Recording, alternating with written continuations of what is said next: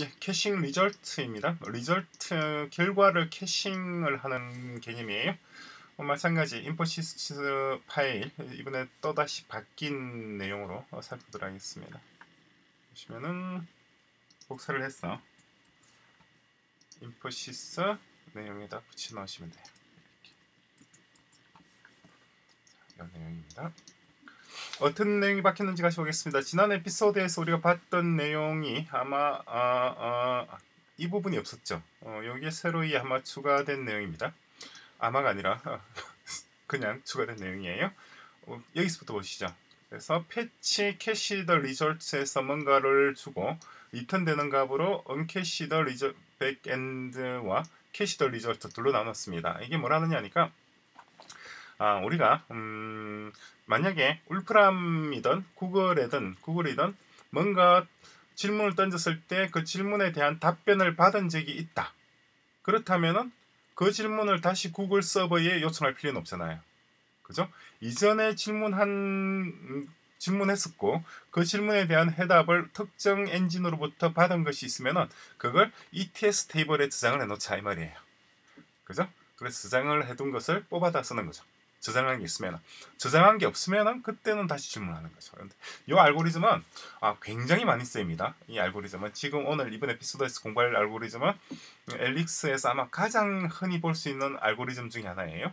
같이 한번 잘 보시죠.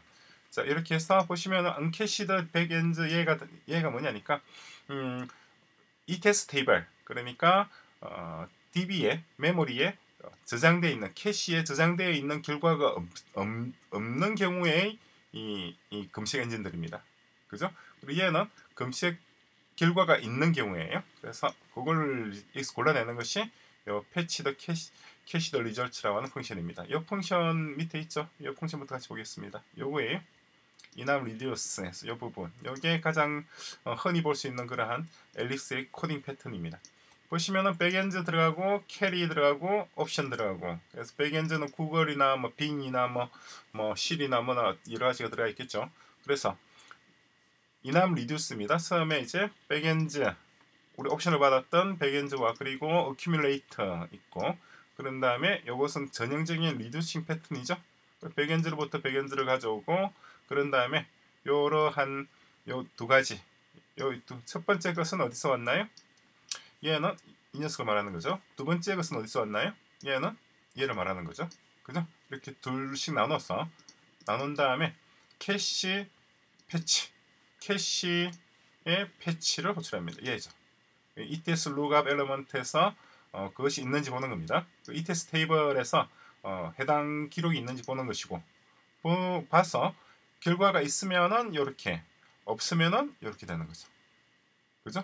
결과가 있으면은 걔는 result에 추가하고 없으면은 걔는 검색 엔진을 uncached backend에다 추가를 한단 말이에요. 그죠? 따라서 이제 uncached backend에는 뭐가 되나요?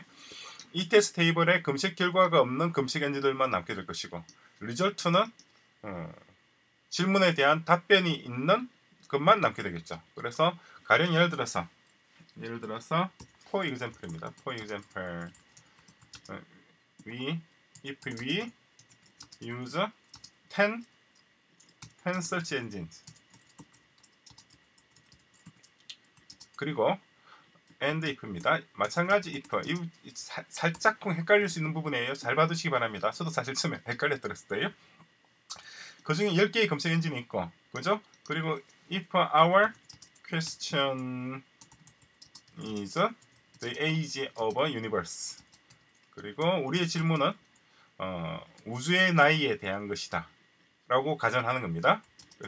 그리고 또 한 번 더 가정하죠. and if입니다. and if 어, only 5 over the 10 10 engines 음, has already returned the answers 그럼 어떻게 되나요? certain only 5 5 남았죠. engines are not yet return the answer.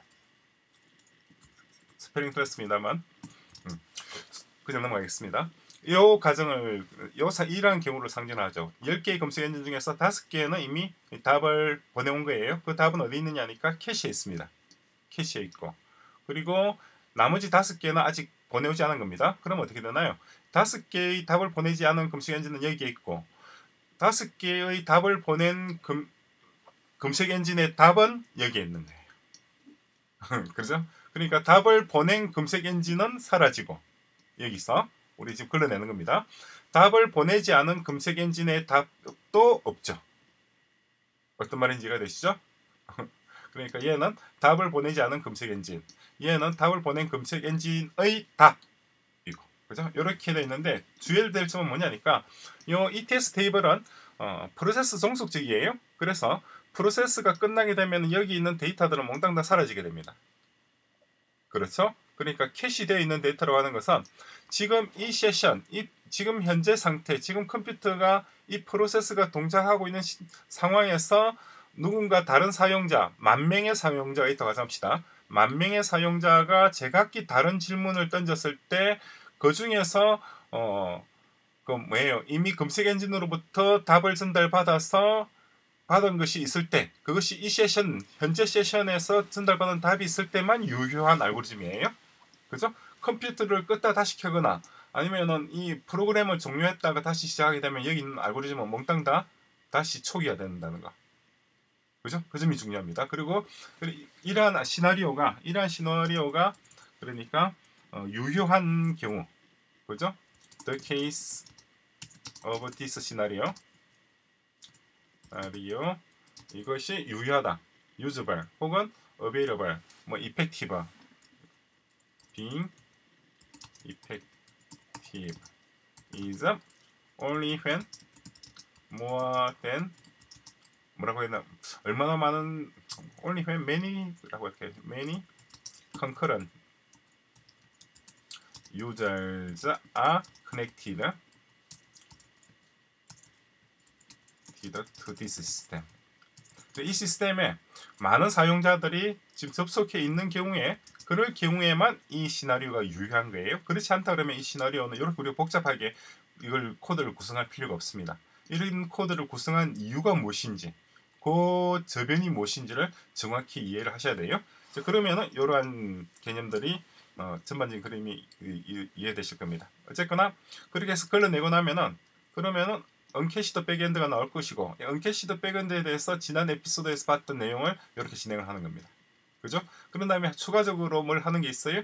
그 중에 둘 네 가지를 더네단네 네 가지 단계를 더 하는데 어, 그 중에서 첫 번째 단계부터 볼까요? write result to cache 캐시에다가 결과를 그러니까 uncached backend로부터 전달받은 결과를 어, 캐시에 적는 거예요. 그죠? write result to cache function이 여기 있는 이 function입니다. 그래서 Enum map result result backend backend 있고 result에서 어 뭐예요? 각각의 result result가 그러니까 검색 엔진이 10개 있으면 5개로부터 뭐 5개 중에서 3개가 답을 보내왔다. 그럼 3개의 답이 여기 result에 들어있을 거 아니에요. 그 3개의 답을 이렇게 key value 형식으로 넣습니다. cache put을 function을 보시면 이렇게 돼 있어요. 캐시 풋 name 키 밸류인데 네임은 디폴트 값으로 모듈이 전달됩니다. 따라서 우리가 argument를 두 개만 준다 그러면은 그때 두 개 argument는 여기에 할당되죠. 그죠? argument를 세 개를 던져주게 되면 세 개는 여기서부터 들어가게 될 거고. 그렇죠? key value 지금 현재 두 개만 던져준 거예요. 두 개만 던져줬으니까 키 얘가 키가 되는 거예요. 키. 키가 굉장히 길죠. 뭐 길다 하더라도 뭐 길 뭐 길어서 긴 거죠. 얘는 결과입니다. 그러니까 value입니다. 그래서 키를 보시면 backend에서 name을 호출하고 있습니다.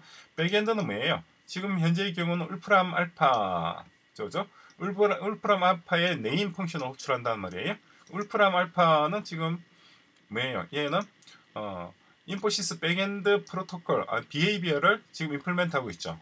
그래서 무슨 말이냐니까 여기에 backend behaviour를 얘잖아요. backend에서 callback해서 name compute 두 개를 우리가 지정을 해뒀습니다.